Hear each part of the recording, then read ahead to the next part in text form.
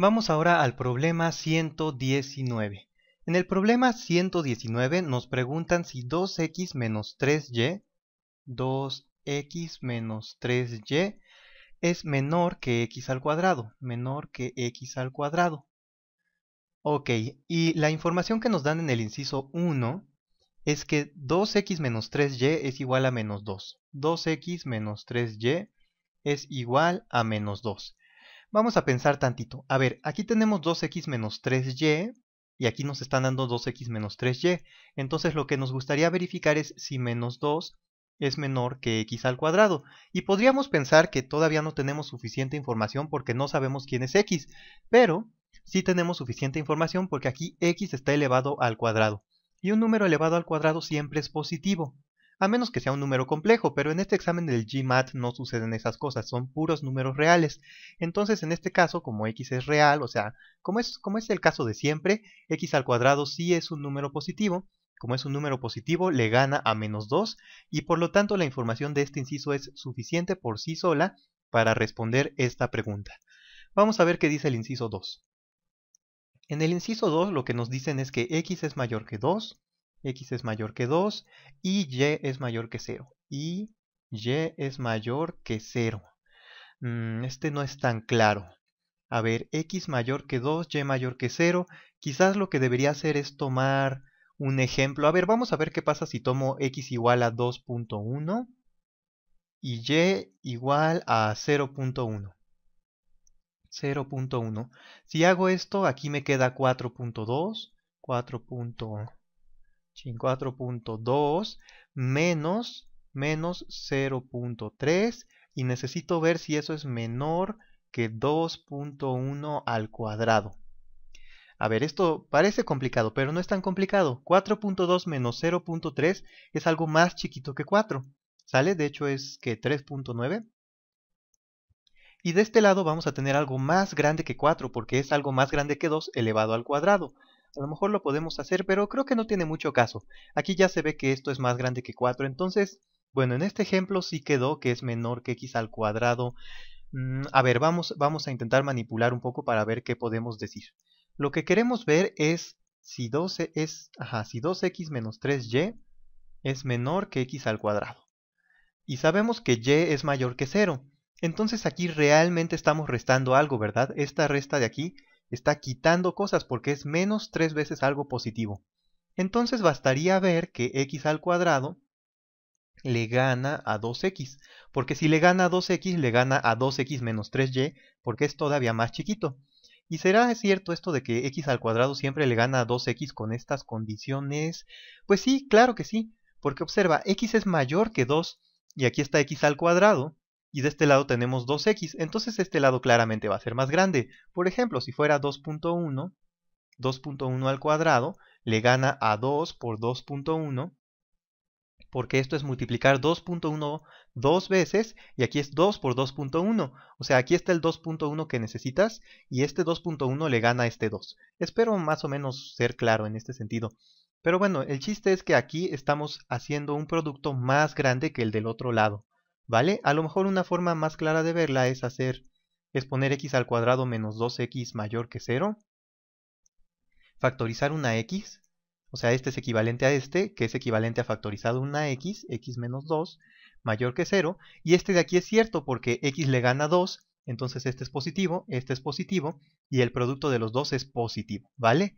Ok, entonces ahí está una forma de verlo. Y luego está el término menos 3y que resta cosas. Entonces sí, la información del inciso 2 también es suficiente por sí misma para responder esta pregunta de acá, y de hecho la responde positivamente. Vamos al problema 120. Problema 120. 120. Wow, ya llevamos muchísimos problemas. Dice, un reporte consiste de 2600 palabras divididas en 23 párrafos. 2600 palabras, le voy a poner palabras, divididas en 23 párrafos. 23 párrafos. Ok, y luego se le agrega un prefacio de dos párrafos. Entonces a esto le vamos a agregar un prefacio. Prefacio, le voy a poner así. Prefacio de dos párrafos. Dos párrafos. Y la pregunta es si el número promedio de palabras por párrafo para todos los 25 párrafos, o sea, ya juntando todo, es menor que 120. Entonces queremos ver si el promedio de palabras por párrafo por párrafo es menor que 120, menor que 120. Ok, ok, este problema suena muy interesante. A ver, vamos a ver qué nos dice el inciso 1. En el inciso 1 nos dice que cada párrafo del prefacio tiene más de 100 palabras. Cada párrafo del prefacio, prefacio tiene más de 100, de 100 palabras. Ok, a ver, ¿esto qué quiere decir? Quizás convenga un poco meter, meter algo de letras. No, creo que todavía no. A ver, si cada párrafo del prefacio tiene más de 100 palabras, como son dos párrafos, dos párrafos, entonces en total tenemos 2800, 2800 palabras, ¿verdad?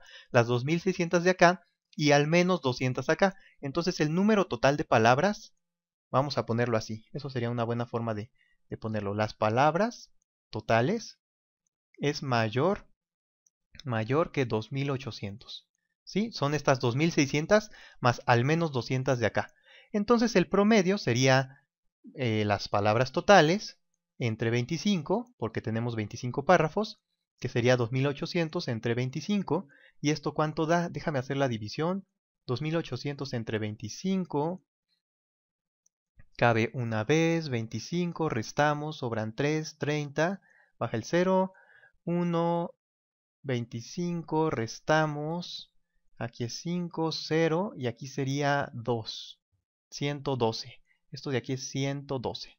112. Entonces, este, el inciso 1, la información que nos da es que el promedio, el promedio de palabras por párrafo es al menos 112. Pero eso no nos dice nada acerca de si es menor que 120, porque podría ser 115 o 127. Entonces esta información así solita no nos dice todavía la respuesta, ¿vale? Vamos al, al 2, al inciso 2. Aquí nos dice que cada párrafo del prefacio o sea, cada párrafo del prefacio, otra vez, tiene menos de 150 palabras. Menos de 150 palabras. Entonces podemos hacer algo similar.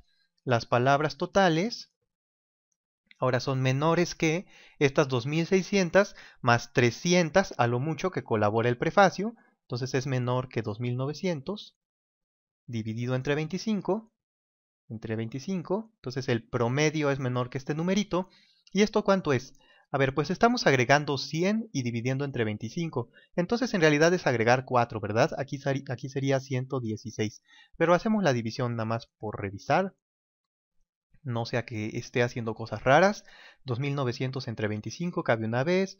25 se resta. Aquí queda 4, 0. Cabe una vez. 25 se resta. Sobran 15, 150.